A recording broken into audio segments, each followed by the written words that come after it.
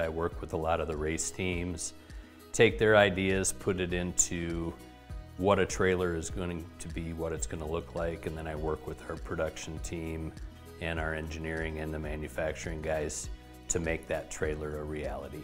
My day is never the same. There's a lot of variety with who I talk with, what I'm working on. I'd say the biggest part is we have new owners now that care about what's going on here. Your outward thinking is taken a little bit more serious and people actually look at that to, to say what, what can we do different, what, what can we do better, which is a nice thing to know every day.